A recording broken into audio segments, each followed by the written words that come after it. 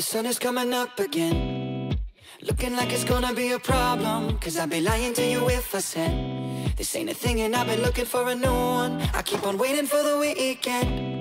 Gonna hit you up and tell you that I won't. Hey everybody and welcome to it. Today's video is going to be super educational and valuable and all this information and tools is being given to you for free. So if this video helps you in any way, it would be super nice to help me back in return and hit the like button or the subscribe button. I know that when I first got my MacBook, I looked up MacBook customization tips or organization tips and there really weren't that many videos. So I decided to put every single thing that I know about customizing or organizing a MacBook into one video. So let's get started. Why is my camera dying already?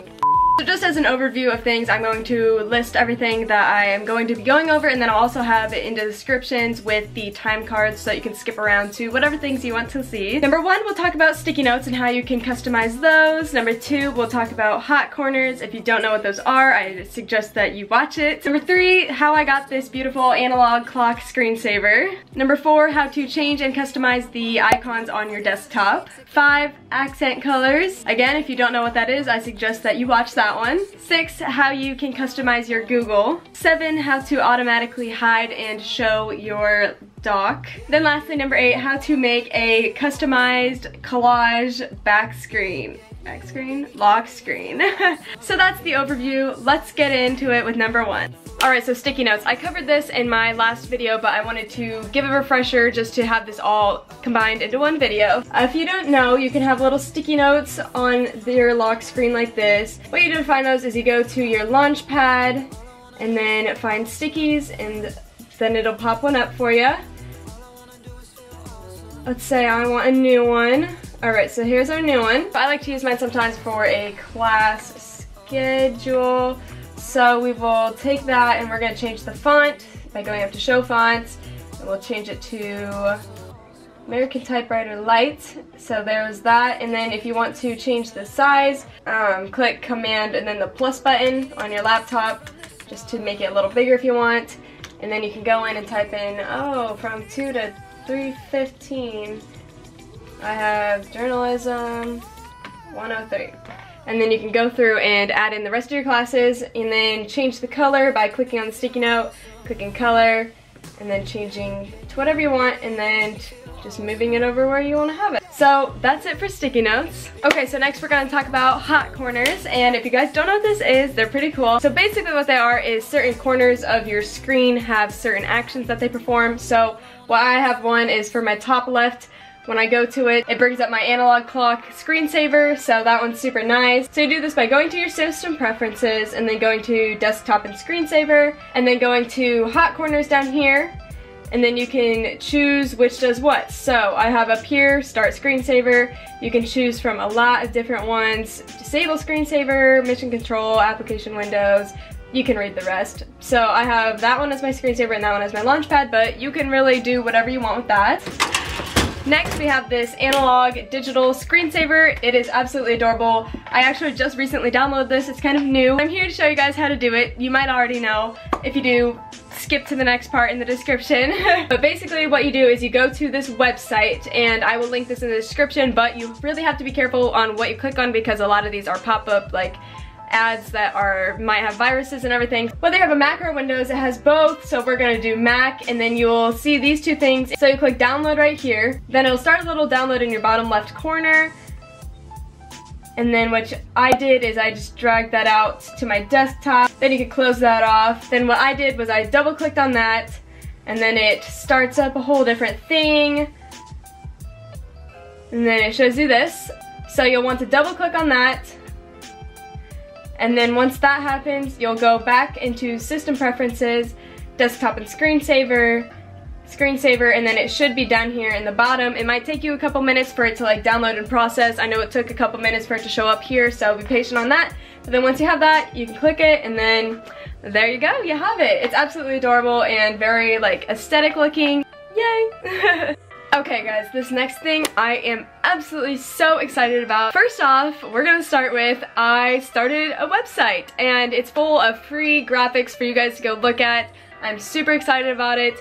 It'll be in the description with all the freebies and everything. So some of the graphics that I'm using on these folders will be in that website for you guys to download if you want these same ones. But if not, I have some alternate options for you guys. So let's just start. First what you'll do is you'll create a folder. So you have that nice little Apple folder. You can rename it, whatever you want. We'll say video, yay. Okay, so once you have that folder, you will either go online and look up star or whatever you want it to be and then and then PNG or transparent at the end of it. Go through and look for one. You'll want to make sure that it comes up with this like checkered background at the end. You can drag it to your desktop and then click out of that or you can go to my website and click on design freebies and then scroll down to desktop icons so then I have all these different options for you guys of coffee, succulents, whatever, black and white. So what you can do is click on whatever you one you want and it'll open up in another tab. You'll click save image as and then save it to your desktop or wherever you want to save it. I usually drag it over and there's two ways to do this. Well, there might be multiple, I don't know. These are the two that I know. So the first one doesn't really work for me. Um, I don't know why, but it might work for you. It's the easiest way. You will go to the folder, right click, click on get info. So you see this top little blue one right here. You'll want to click that one, not this one. And you will drag whatever photo you want to that folder. And then mine does this, but for some people it works. so mine screws up, doesn't do it right. So what I have to do instead is open this up in preview just by double clicking on it. Click on the thing, Command A to select it all, and then Command C to copy it. Then you'll click back up on that top little corner and click Command V. And then it should come up. So there is that one for you. We have a black star. That one was from offline. Um, we'll start up a new folder and to do mine, we'll do get info again with the right click. I'm going to open this up in preview, Command A, Command C. Over here, click in the top left blue folder, make sure it has like a little glowy outline. Command V, and so cute. That one is adorable. There's our little white plant. That one's kind of harder to see um, on my MacBook screen particularly, but if you have a different color, it might work better for you.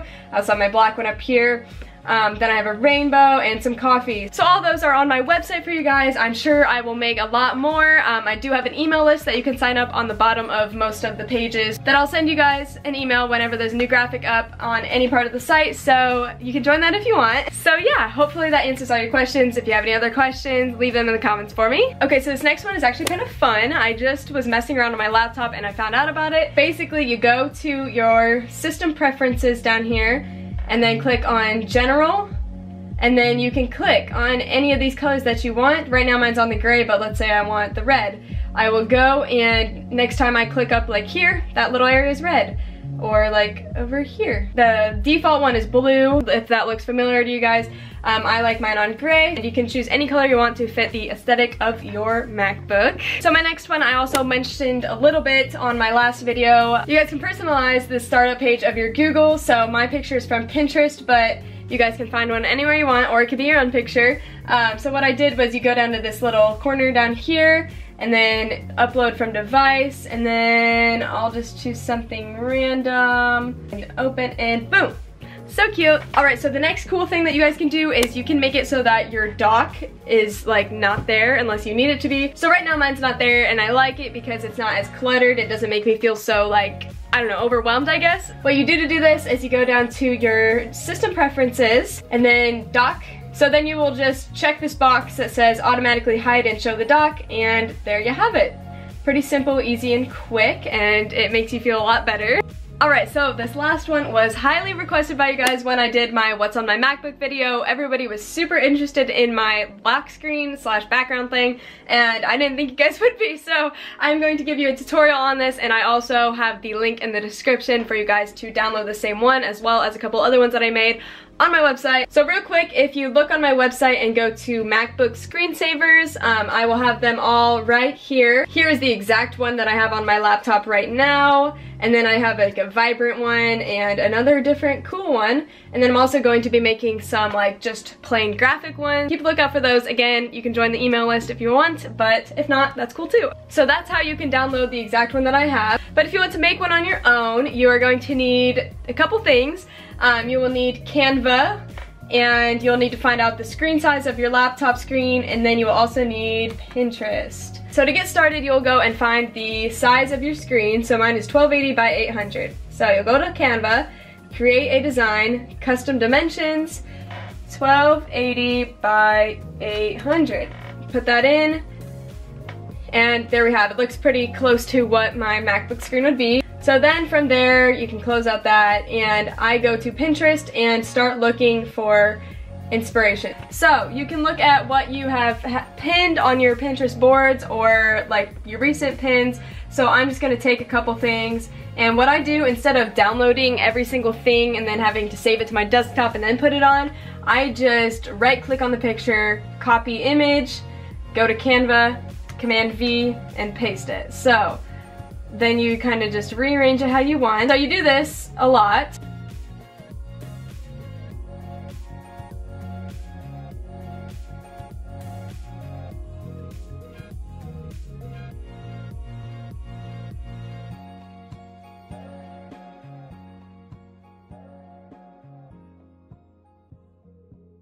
So it only took me about five minutes to do and it looks pretty cute. Um, some other tips that you can do is if like, let's say a quote doesn't match like the color theme you're going for, you can click on that picture, go to filter, and then kind of just mess around with all the different filters and see, that one looks pretty good I guess, um, and to see which ones look the best. Same with just even any other random pictures. And there you have it. Again, if you have any other questions, go ahead and comment them. And if you don't want to do this yourself and you want me to make one for you, you can go to my website and at the bottom of the MacBook screensaver page, there's a screensaver commissions form where you can type in your name and your email and then what kind of color theme you want and I will make that for you. Um, it will be a little bit of a price through Venmo or PayPal, but we can work together and figure that all out. I will also go ahead and download this one and put it on my website as well for you guys because I have a feeling you guys are going to be asking for me to link this one too. Overall, I hope that this video really helped you guys. I really just want you guys to